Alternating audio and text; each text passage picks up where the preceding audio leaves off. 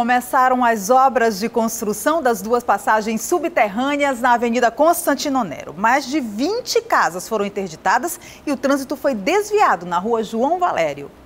Aos poucos, tapumes eram fixados no canteiro da avenida. Estes são os primeiros passos da obra que terá duração aproximada de um ano e três meses. O novo sistema viário da Constantino Neri irá interligar os bairros Nossa Senhora das Graças, na Zona Sul, e São Geraldo, na Zona Oeste de Manaus. A obra é considerada a maior intervenção já feita na Constantino Neri e promete melhorar o trânsito no principal eixo entre as zonas norte e sul da cidade. O sistema viário da Avenida Constantino Neri ocupa uma área de 35 mil metros quadrados. Serão construídas duas passagens subterrâneas, uma aqui no cruzamento da rua João Valério e a outra na rua Pará.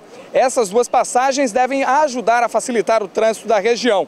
O projeto existe há mais de 30 anos e só agora começou a ser executado. Para a realização da obra, 22 casas foram interditadas totalmente e outras 22 de forma parcial. E hoje eu posso dizer que nós temos dinheiro para no verão investirmos nos bairros, investimos em pontes, investimos em muita drenagem, investimos sem nenhuma dúvida em duas grandes obras, dois grandes complexos viários, como o do Manoa e este aqui da Constantino Neri com João Valério. Na manhã desta terça-feira, a rua João Valério teve o trânsito interditado. Blocos de concreto impediam o tráfego em direção à Zona Oeste. Para seguir viagem, o motorista precisou dobrar à direita em direção ao Parque dos Bilhares e fazer o retorno por baixo da ponte. Houve que não gostasse muito da mudança. Vai complicar a vida de muitos trabalhadores, né? Mas a maioria dos usuários da via acredita que a mudança trará melhorias em longo prazo.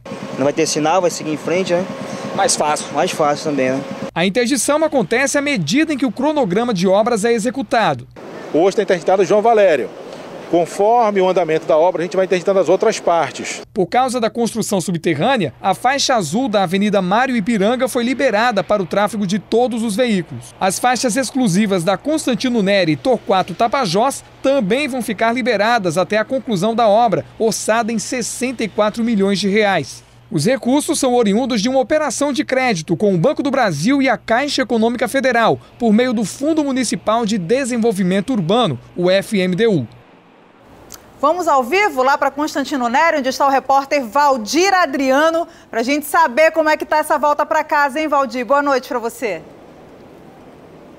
Boa noite, Mariana. Boa noite a todos que acompanham o Jornal em Tempo nesta terça-feira. Pois é, o trânsito está fluindo aqui na Avenida, de, na Avenida Constantino Nery, no sentido centro e também no sentido bairro, conforme você pode ver. Inclusive aqui na Avenida João Valério, no bairro do Vieralves, que é uma das principais avenidas que vai ter a alteração aqui. Os ônibus que passavam nessa avenida no sentido aqui centro da Avenida Constantino Neri, passarão agora a seguir direto à Avenida de Jalma Batista. Agentes do Manaus Trans estão orientando os motoristas que passam por aqui, tanto no sentido bairro quanto no sentido centro, várias paradas de ônibus. Nesse trecho em que vai haver as duas obras das passagens subterrâneas vão ser desativadas, tanto no sentido centro quanto no sentido bairro, e outras paradas devem ser ativadas pelo SMTU. Uma ali em frente ao hospital da Unimed, a maternidade da Unimed no sentido bairro, e do outro lado da pista, ali próximo ao Milênio, na escola Preciosíssimo Sangue, deve ser ativada também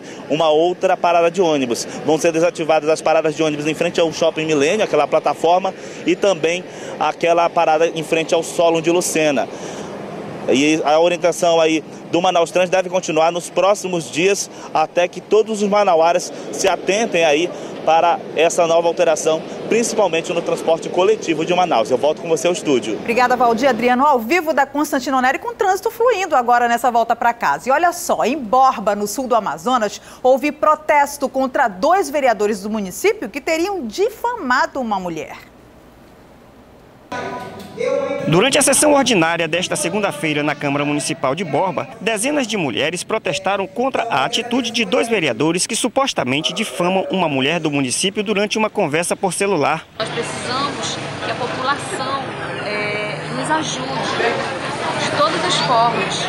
Não peça só pelas mulheres borbenses, mas pelas mulheres que vivem No áudio que vazou, o vereador identificado como Luiz Almeida do MDB conversa com Jacimar Batista do PMN. Eles falam coisas íntimas de uma mulher e ainda mencionam outros homens que supostamente teriam se envolvido com ela. Naquele tempo ela, Paraíba e o Rodrigo Graça, nós três. No plenário da Câmara, Maria Elizabeth, do PSD, a única mulher a ocupar o cargo de vereadora, saiu em favor das mulheres. Não tem respeito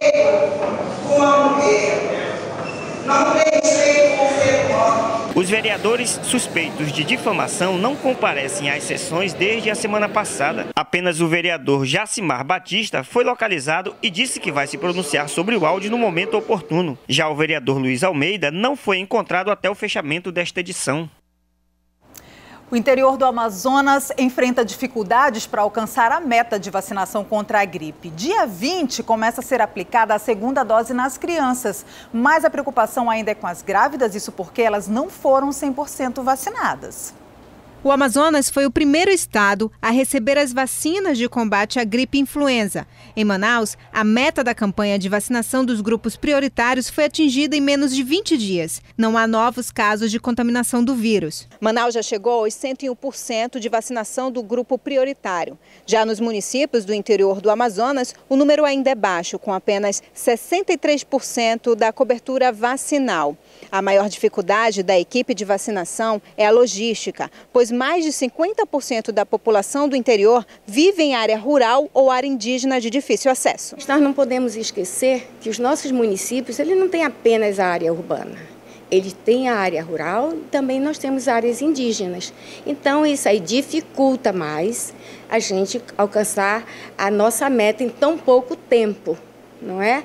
E sem contar que tem a chuva agora também que está nos atrapalhando. O município de Presidente Figueiredo é um dos poucos que teve o resultado da campanha satisfatório até o momento. A cidade recebeu pouco mais de 7 mil doses de vacinas e já chegou a 54% da população dos grupos prioritários vacinados. No Amazonas, 33 pessoas morreram entre fevereiro e março desse ano, sete no interior do estado. As grávidas ainda preocupam. 10% delas ainda não foram vacinadas.